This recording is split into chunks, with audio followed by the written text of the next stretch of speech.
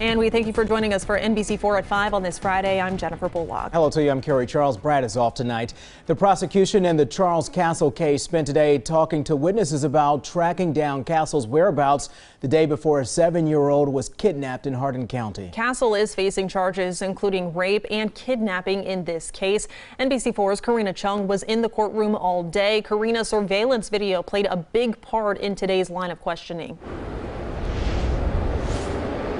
Jen, it did. And we heard from Detective Terry Snary, who is a digital forensic examiner with the Hardin County Sheriff's Office.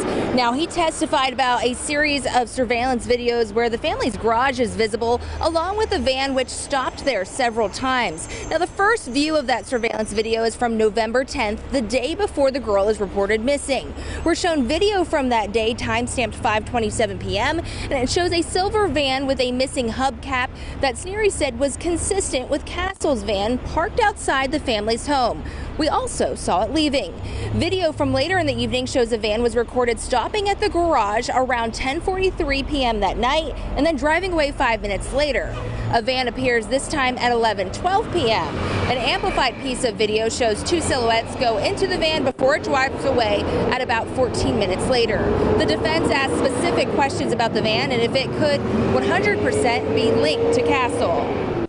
And again, are you able to determine the color of that vehicle? No. See the license plate? No. See the driver? No. Are you able to see if there's any passengers in that vehicle?